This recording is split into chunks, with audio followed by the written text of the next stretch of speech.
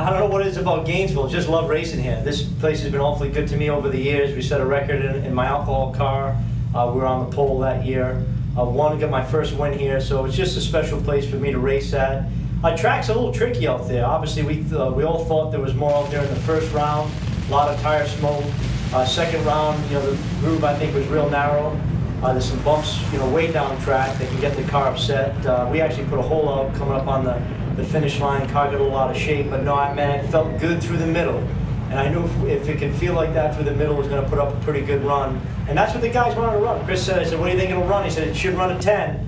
And, uh, and that's what it did. So uh, we're happy with the run. Obviously, it gives us a little bit of uh, leeway tomorrow to go out and take some swings at it. And you know, the first session will be warmer than what we've seen uh, in these last two, and then the last session should be a little bit better.